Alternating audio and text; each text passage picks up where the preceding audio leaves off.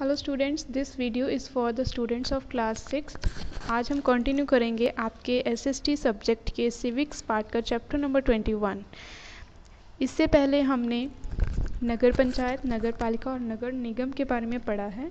आज हम पढ़ेंगे डिस्ट्रिक्ट एडमिनिस्ट्रेशन जिला प्रबंध के बारे में। Our country is the largest democracy in the world having largest population हमारा देश जो है संसार का सबसे बड़ा लोकतंत्र है, जिसकी जनसंख्या सबसे ज़्यादा है। You have read in the previous chapter that we have about six lakh village हमने पिछले चैप्टर में पढ़ा है कि हमारे देश में लगभग छः लाख गाँव हैं and our country area is thirty three lakh square kilometre और हमारी कंट्री का एरिया कितना है? Thirty three lakh square kilometre है। Village is the smallest unit of administration गाँव जो है, प्रबंधन का सबसे छोटा यूनिट है, सबसे छोटी इकाई है।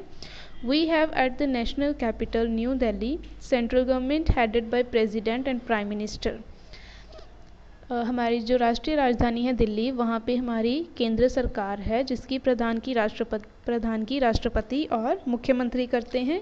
But being a vast country the government cannot take care of all the aspects all over the country so क्योंकि हमारा देश बहुत ही बड़ा है सो so एक ही गवर्नमेंट सारे प्रबंध को, पूरे देश के प्रबंध को नहीं देख सकती है।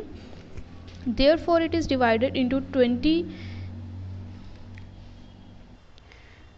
nine जो है राज्य हैं ट्वेंटी नाइन राज्य हैं एंड सेवन यूनियन टेरिटरीज और सात केंद्र शासित प्रदेश हैं। कि हमारा देश जो है बहुत बड़ा है, एक ही सरकार सारे एस्पेक्ट्स को नहीं देख सकती है, इसीलिए इसको उनतीस राज्य और सात केंद्र शासित प्रदेशों में बांटा गया है। Every state has its own government headed by the governor हर एक राज्य की अपनी सरकार है, जिसकी प्रधानगी उसका गवर्नर और मुख्यमंत्री करता है functioning from the state capital जो कि राज की जो राजधानी है, वहाँ से काम करता है। Union territories come under the central government और यो, जो केंद्र शासित प्रदेश हैं, वह केंद्र सरकार के अधीन आते हैं। Even the states are quite large and so they are further divided into district क्योंकि राज्य भी बहुत बड़े बड़े हैं, इसलिए उनको भी आगे ज़िलों में बांटा गया है। For the purpose of administration ताकि उसका प्रबंध सही तरीके से हो सके। एडमिनिस्ट्रेशन एट डिस्ट्रिक्ट लेवल इस कार डिस्ट्रिक्ट एडमिनिस्ट्रेशन और जिला लेवल के ऊपर जो प्रबंध होता है, उसको हम जिला प्रबंध बोलते हैं। The officials of district administration are called district administrator और जो ऑफिसर्स होते हैं अफसर होते हैं जिला प्रबंधन के, उनको हम जिला प्रबंधक कहते हैं। Similarly every village and town has its own form of governance which is called local self government so इसी तरह से हर गाँव और हर शहर की अपनी एक सरकार होती है, जिसको हम स्थानिक स्थानिक सरकार कहते हैं about which you have already studied जिसके बारे में हमने अभी इस चैप्टर में और इससे पहले पिछले चैप्टर में पढ़ा है। सो so, यहाँ पे गवर्नमेंट की फॉर्म्स गिवन है. सबसे पहले कौन आता है? स्टेट गवर्नमेंट स्टेट के अंदर डिस्ट्रिक्ट आते हैं अलग अलग जो किसके द्वारा कंट्रोल किए जाते हैं? डिस्ट्रिक्ट एडमिनिस्ट्रेशन द्वारा. उसके बाद आती हैं local bodies rural and urban rural में कौन सी होती है? रूरल सेल्फ गवर्नमेंट और अर्बन में urban self government self local government Nowadays, our state Punjab is being divided into 22 district for administration purpose. आजकल हमारा जो राज्य है पंजाब इसको 22 जिलों में बांटा गया है ताकि इसका प्रबंधन सही तरीके से हो सके it is generally said that progress of a country depends a lot on the good administration at district level और आमतौर पर यह कहा जाता है कि एक देश का विकास जो है वह जिला प्रबंधन के ऊपर निर्भर होता है। अगर ज़िले का जो डिस्ट्रिक्ट लेवल के ऊपर एडमिनिस्ट्रेशन वह अच्छा है तो हमारा देश विकास विकास कर सकता है। Since the lowest government unit of administration is district जैसे कि सरकार जो है, उसका सबसे लोएस्ट पार्ट कौन सा है प्रबंधन का? जिला district level it form an important part of state government's framework और ये राज्य सरकार का जो बनतर है, उसमें एक बहुत ही महत्वपूर्ण रोल अदा करता है the district administration functions at following three levels और जो डिस्ट्रिक्ट एडमिनिस्ट्रेशन है, जिला प्रबंधन है, वो तीन लेवल के ऊपर ऊपर काम करता है. कौन कौन से? फ़र्स्ट है डिस्ट्रिक्ट लेवल कि ज़िले का प्रबंधन, तहसील और ब्लॉक लेवल, उसके बाद आती है तहसील या फिर ब्लॉक, उसका प्रबंधन third is city town village level. Third पे जो हमने अभी पढ़ा, शहर की, जैसे कि नगर निगम या नगर पालिका हो, टाउन की हो या फिर गाँव का, रूरल, लोकल सेल्फ गवर्नमेंट हो। District level functions are performed through district officers और जो जिला प्रबंधन के काम होते हैं, वो जिला कर्मचारियों या अधिकारियों द्वारा किए जाते हैं। In different government departments officials have been appointed at the district level सरकार के अलग अलग जो विभाग हैं, उनमें अलग अलग अफसर जो होते हैं, उनको जिला लेवल के ऊपर अपॉइंट किया जाता है। The highest official at district level is deputy commissioner और जो जिला प्रबंधन का सबसे उच्च अधिकारी होता है, वो होता है deputy commissioner the officers of all other department are district educa as district education officer, district transport officer, district public relation officer, district agriculture officer और senior superintendent of police and DSP etcetera इसके अलावा deputy commissioner के अलावा जो अलग अलग department हैं अलग अलग विभाग हैं, जैसे कि एजुकेशन हो गया, ट्रांसपोर्ट हो गया, मेडिकल डिपार्टमेंट हो गया, इन सब के अलग अलग ऑफिशियल्स होते हैं अलग अलग अफसर होते हैं, जैसे कि एजुकेशन को एडमिनिस्टर करने के लिए डिस्ट्रिक्ट डिस्ट्रिक्ट एजुकेशनल ऑफिसर हैं और ट्रांसपोर्ट को एडमिनिस्टर करने के लिए डिस्ट्रिक्ट लेवल के ऊपर डिस्ट्रिक्ट ट्रांसपोर्ट ऑफिसर है। इसी तरह से आगे अलग अलग डिपार्टमेंट के लिए अलग अलग ऑफिसर्स के नेम गिवन है। They all work under the supervision and leadership ये सभी प्रॉपर तरह की निगरानी और लीडरशिप के अंडर काम करते हैं। Thus DC looks after all the activities in district so जो डिप्टी कमिश्नर है, वो ज़िले में जितनी भी एक्टिविटीज़ जो काम हो रहे हैं, उनको देखता है। He has also to keep a watch on working of panchayati raj institutions as well as urban local government और जो डीसी होता है, डिप्टी कमिश्नर, उसको गाँव की जो सिस्टम होता है, पंचायती राज सिस्टम उसको भी देखना होता है एज वेल एज जो लोकल अर्बन लोकल गवर्नमेंट होती है उसके भी प्रबंधन को देखना होता है He can dissolve the local bodies by sending a report to state government if he feels that they are not functioning properly.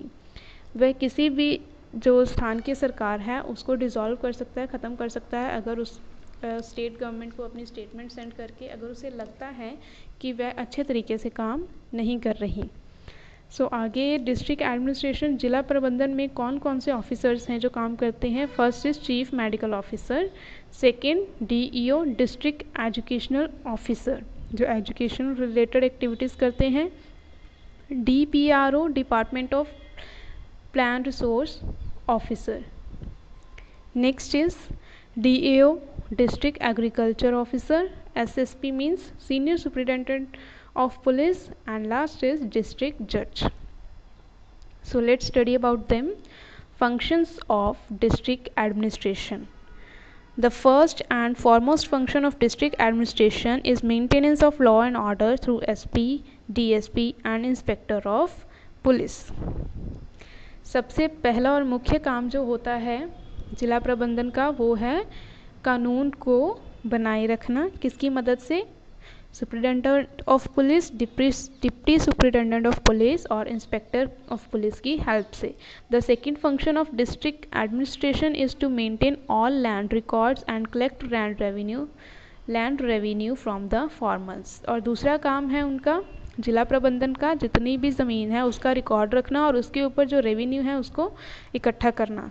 Thirdly, all development works of district, education, agriculture, etc. are carried out under supervision of deputy commissioner. और तीसरे number पर जितने भी विकास के काम हैं जैसे कि वो शिक्षा के क्षेत्र में हो या एग्रीकल्चर के बिहाफ पे हो वो सभी काम जो हैं डिप्टी कमिश्नर की निगरानी के अं-, अंडर होते हैं civil amenities like facilities to health means of transport education maintenance of government buildings and roads are also are looked after by various officers of district और इसके अलावा जितने भी सुविधा, सुविधाएँ प्रदान की जानी होती हैं, जैसे सेहत संबंधी, आवाजाही के संबंधी, शिक्षा के संबंधी, या फिर जितनी भी सरकारी इमारतें या सड़कें हैं, उनकी देखरेख संबंधी जितने भी काम हैं अलग अलग जो अफसर होते हैं ज़िले के, उनके द्वारा किए जाते हैं। There is separate judicial administration in every district to administer justice so हर ज़िले में एक अलग जो है न्याय प्रबंध होता है, जो न्याय का प्रबंधन करता है। There are separate court dealing with the two kind of litigation दो तरह के झगड़ों के निपटारे के लिए अलग अलग कोर्ट होते हैं अलग अलग कचहरियाँ होती हैं। The civil court deals with matters relating to property and money जो सिविल कोर्ट है, वो किस चीज़ से रिलेटेड जो झगड़े, झगड़ों का निपटारा करता है? ज़मीन या फिर पैसे से संबंधित। While criminal court deals with cases like theft murder and criminal assaults इसके अलावा जो क्रिमिनल कोर्ट है, उसमें कोई भी चोरी के मर्डर के या किसी और क्राइम के जो केसेस हैं, उनको सॉर्ट आउट किया जाता है। द कोर्ट ऑफ़ डिस्ट्रिक्ट जज is the highest court of district जो डिस्ट्रिक्ट जज का कोर्ट है, वो हाइएस्ट सबसे उच्च, जो अदालत है। It supervises the functioning of civil as well as criminal court और यह क्या करता है? सुपरवाइज करता है मतलब निगरानी रखता है सिविल और क्रिमिनल कोर्ट्स की। The highest criminal court in the district is that of the session जज जो सबसे उच्च अदालत होती है क्रिमिनल कोर्ट की, वो होती है सेशन जज while dealing with the civil cases जो सिविल केसेस का निपटारा करती है। द सेशन जज इज़ नॉन एज डिस्ट्रिक्ट जज और सेशन जज को हम जिला जज भी कहते हैं। Thus local self institutions of village cities and official at the district level jointly run the administration of their state efficiently so सभी संस्थाएँ जो कि गाँव लेवल पर, शहर या फिर ऑफिशियल, ऑफिशियली जो जिला लेवल पर काम करती हैं, सभी मिलकर काम करती हैं एक राज्य के प्रबंधन को अच्छे तरीके से चलाने के लिए। Thus they reduce the boundary of centre and state government on the democratic on the democratic setup so ये जो है, वो केंद्रीय और राज्य सरकार की जो बाउंड्री है, ये लोकतांत्रिक सेटअप है, उसको रिड्यूस करती है। दस लोग